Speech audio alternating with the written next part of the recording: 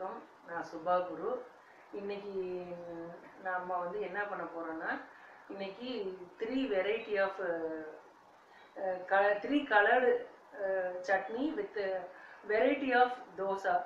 எப்படி செய்யறது அப்படின்றத பற்றி உங்களுக்கு நான் இன்னைக்கு சொல்லி தர போகிறேன் ட்ரை கலர்டு சட்னிக்கு இது வந்து முதல்ல நாம் ஒரு சின்ன தேங்காயில் ஒரு அரை முடி அளவுக்கு தேங்காய் பொட்டுக்கல்ல மூணு பச்சை மிளகாய் கொஞ்சோண்டு உப்பு- உப்பு எடுத்து வச்சுருக்கேன். இது வந்து தேங்காய் சட்னிக்கு இது வந்து ரெட்டு கலரில் சட்னி வர்றதுக்காக இது வந்து சிம்பிள் மிளகா சட்னி.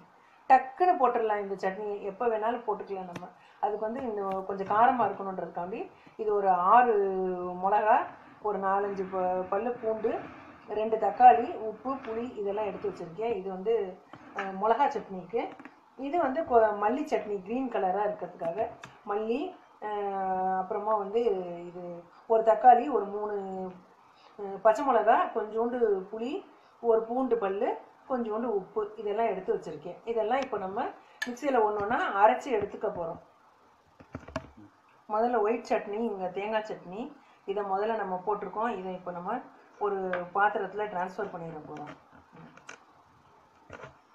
இப்போ அடுத்தது நம்ம வந்து மல்லி சட்னிக்கு போட்டுக்க போகிறோம் மிளகா உப்பு எல்லாத்தையும் போட்டு மல்லி சட்னியை அரைச்சிக்க போகிறோம்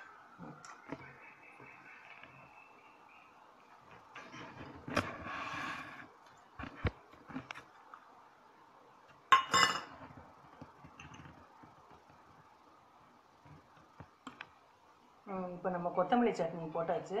இது இப்போ க்ரீன் கலர் சட்னி ரெடி இதை ஒரு பாத்திரத்துக்கு ட்ரான்ஸ்ஃபர் பண்ணிட போகிறோம் இந்த இப்போ மிளகா சட்னியை நம்ம போட்டுக்க போகிறோம் அதுக்கு இந்த மிளகாய் இதில் போட்டுட்டோம்.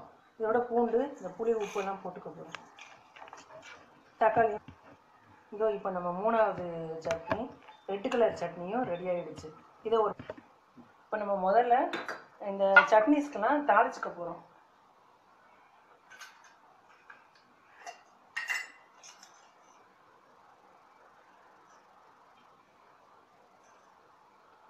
ரெண்டு ரெண்டு மூணு ஸ்பூன் எண்ணெய் ஊற்றிக்கோங்க அப்புறம் கடுகு உளுந்தம்பருப்பு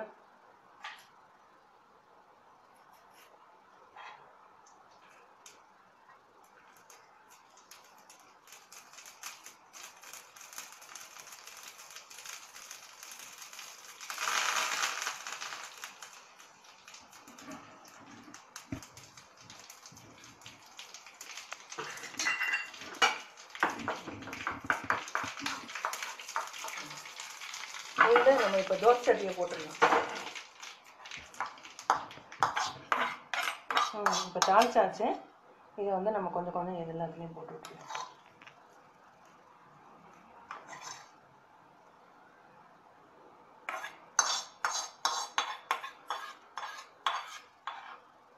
தாளிச்சாச்சு.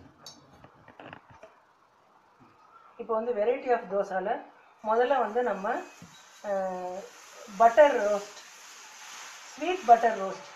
எப்படி செய்கிறதுன்னு பண்ண போகிறோம்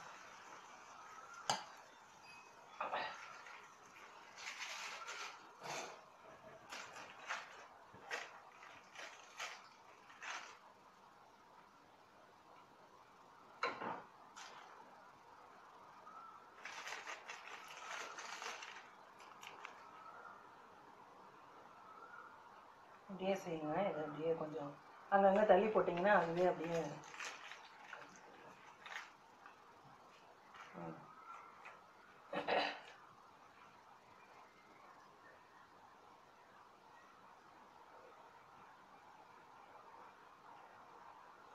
நல்லா இப்படியே ஸ்ப்ரெட் பண்ணிவிடுங்க எல்லா பக்கமும்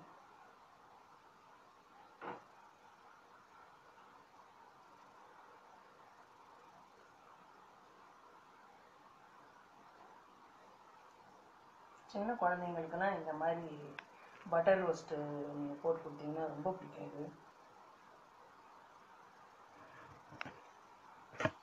பட்டர் போட்டுட்டு இப்போ இதுக்கு மேலே வந்து நம்ம நல்லா சுகர் எப்படி ஸ்ப்ரிங்கிள் பண்ணி விட்டுறணும்.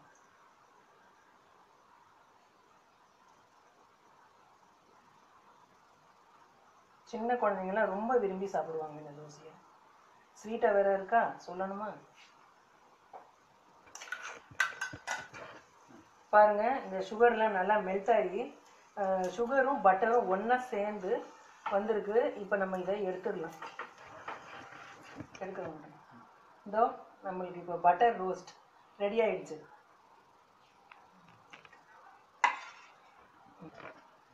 இப்போ நம்ம வந்து அடுத்தது நம்ம ஆனியன் தோசை ஊற்ற போகிறோம்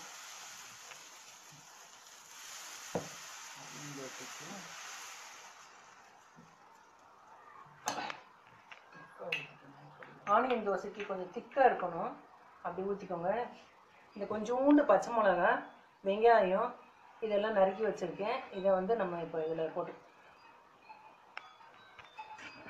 நல்லா அப்படியே ஸ்ப்ரிங்கிள் பண்ணி விடுங்க.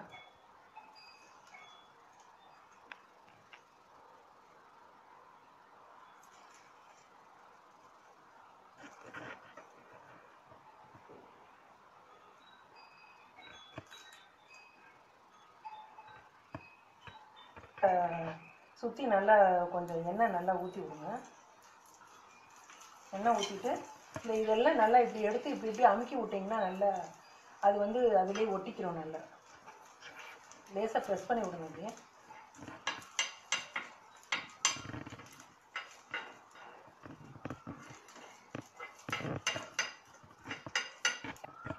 இந்த ஆனியன் தோசை கேரட் தோசை இதெல்லாம் ஊற்றுறப்ப வந்து நல்லா கொஞ்சம் தடியாக ஊற்றிக்கிட்டு இதை போட்டு கொஞ்சம் அடுப்பை வந்து கொஞ்சம் நல்லா ஸ்லிம் பண்ணி வச்சுக்கோங்க.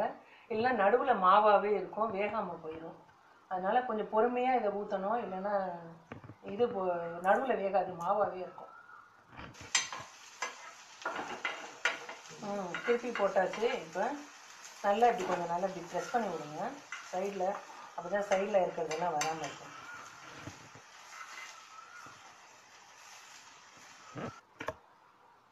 இப்போ நம்ம ஆனியன் தோசை ரெடி ஆகிடுச்சு பாருங்க ரெடி ஆகிடுச்சு ஆனியன் தோசை. இந்த வெங்காயம்லாம் அப்படியே இதில் அள்ளி விட்டுருங்க. இப்போ அடுத்தது நம்ம வந்து கேரட் தோசை ஊற்ற போகிறோம்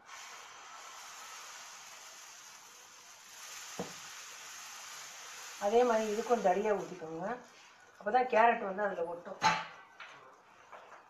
கேரட்டு கொஞ்சம் கொத்தமல்லி கொஞ்சோண்டு பூ பச்சை மிளகா எல்லாத்தையும் நறுக்கி வச்சுருக்கேன். இது எல்லாத்தையும் கொஞ்சம் இப்படி மிக்ஸ் பண்ணிவிட்டு அதில் போட போகிறோம்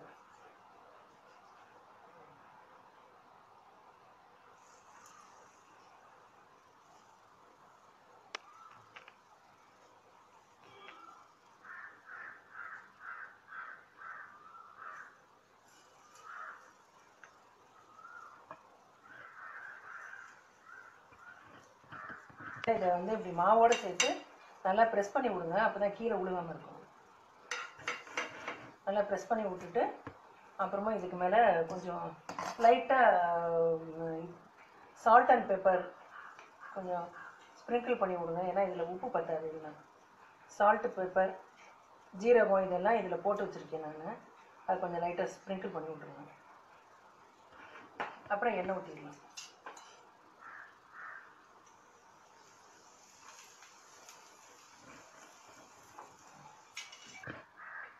இதை வந்து இப்போ நம்ம திருப்பி போட்டுருணும் நல்ல காலையில் நேரத்தில் இந்த பிரேக்ஃபாஸ்ட்டில் இப்படி கேரட்டு ஆனியன் இதெல்லாம் சேர்த்து நீங்கள் பிள்ளைகளுக்கு இந்த மாதிரி ஸ்கூலு ஸ்கூல் கூட இந்த மாதிரி செஞ்சு நீங்கள் கொடுத்து விடலாம். நல்லா இருக்கும் கலர்ஃபுல்லாக பிள்ளைங்க சாப்பிட்டு வராங்க இப்போ கேரட் தோசை நம்மளுக்கு ரெடி ஆகிடுச்சு இதை வந்து நம்ம இப்போ எடுத்து வச்சுக்கலாம். மெதுவாக எடுங்க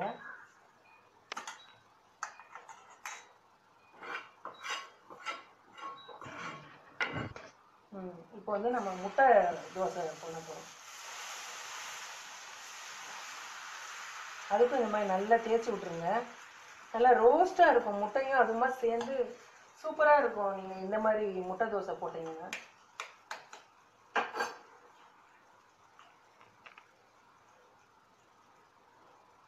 ஒரு முட்டையோ ரெண்டு முட்டையோ உங்களுக்கு எவ்வளோ வேணுமோ அது போட்டுக்கோங்க நல்லா இப்படி அடிச்சிட்டு நல்லா இந்த மாவு ஃபுல்லுக்குமே இப்படியே ஸ்ப்ரெட் பண்ணி விட்ருங்க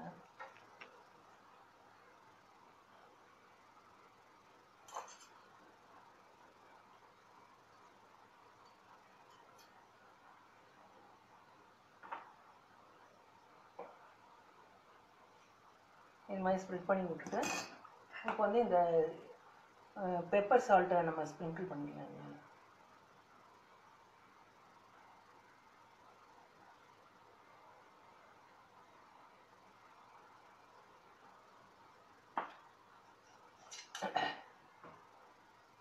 நல்லா ஆயில் ஊற்றுங்க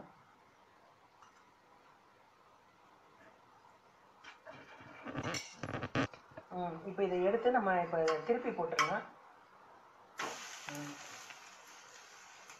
நல்லா வந்திருக்கு கோல்டன் ப்ரௌன் கலரில்.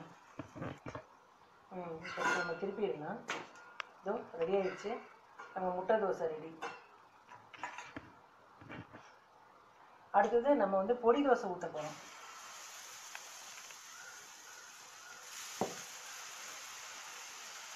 ஊற்றிட்டு அடுப்பை கொஞ்சம் ஸ்லிம் பண்ணிக்கோங்க. இப்போ வந்து இதில் நம்ம பொடியை எடுத்து இது மேலே போட்டுற இட்லி பொடி இருக்குல்ல அதுதான். இட்லி பொடி.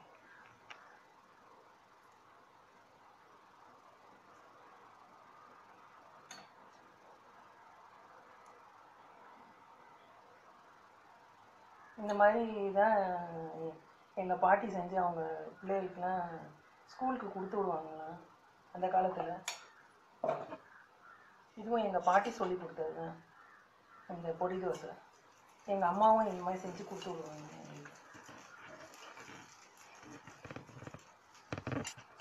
எங்களுக்கு இப்போ இந்த பொடி தோசையை நம்ம வந்து இப்போ இப்போ வெந்துருச்சு இதை நம்ம திருப்பி போட்டுக்கணும் நல்லா அமுக்கி விடுங்க. அப்போ தான் அந்த பொடி நல்லா அதில் பிடிச்சிக்கிறோம் இது வந்து ரொம்ப நேரம் திருப்பி போட்டு இருக்க விடாதீங்க இல்லைன்னா பொடி தீஞ்சு போயிடும் லைட்டாக கொஞ்சம் வேக விட்டு எடுத்துக்கோங்க. அந்த பக்கமாக இருந்து நல்லா வேகும் என்னது?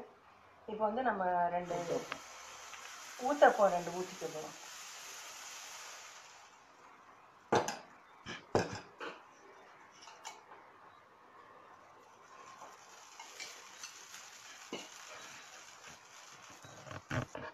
ம் இதை நம்ம இப்போ திருப்பி போட்டுருக்கோம் கொஞ்சம் எண்ணெய் ஊற்றுங்க இதில் இந்த இது இந்த மாதிரி தோசை ஊற்றுறப்ப நடுவில் இப்படி ஒரு சின்ன கேப் ஒன் பண்ணி அதில் கொஞ்சம் எண்ணெய் ஊற்றுனீங்கன்னா நல்லா வேகும். சாப்பிட்றப்பையும் ரொம்ப நல்லா இருக்கும். இதை நம்ம எடுத்துட்டு அடுத்தது நம்ம வந்து குட்டி குட்டி தோசை ஊற்றிக்க போகிறோம் கிட்ஸு காம்பி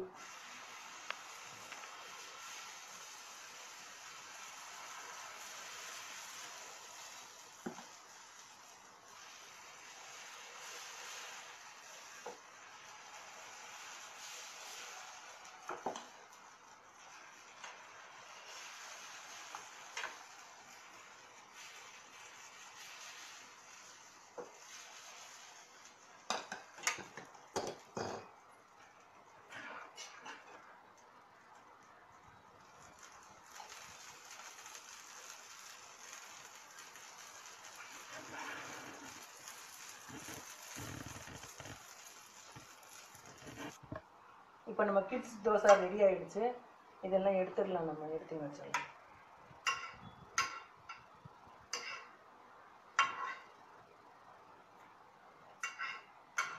எடுத்துட்டு நம்ம இப்போ வந்து last but the but not the least ஒரு வந்து பட்டர் ரோஸ்ட் ஒன்று வைக்கிறோம் இப்போ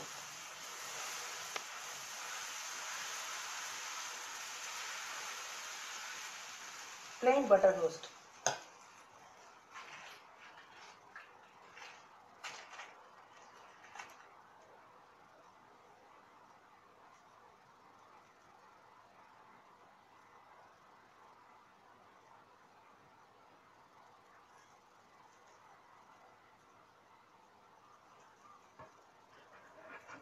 நம்ம சாதாரணமாக வீட்டில் இருக்கிற மாவுலேயே இத்தனை வெரைட்டி ஆஃப் தோசை நம்ம வந்து நம்மளால் ஊற்ற முடியும். இந்த மாதிரி வெரைட்டியாக நீங்கள் செஞ்சு கொடுத்தீங்கன்னா யாருக்காச்சும் வெளில போய் சாப்பிட்ணும் ஹோட்டலில் சாப்பிட்ணும்னு தோணுமா?